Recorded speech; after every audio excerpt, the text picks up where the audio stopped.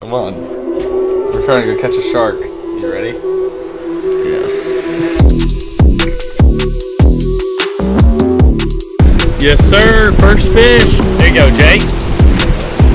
Let's go. Yo! How you feeling? I'm good. It's a big one. Double up! That's a big old fish. Good job. Now we got to come back. Colby's still working on his. You can see him. He's close.